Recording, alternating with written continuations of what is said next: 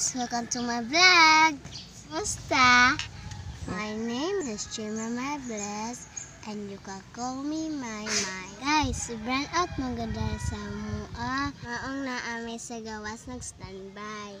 Kapit na dyan ang klase ay libod jud ko ani eskwela ba ko or di coronavirus kanus apa man kamawa oy Makaguba jud kag future ay bawa na ko no be Mabalik na sa normal ang tanan.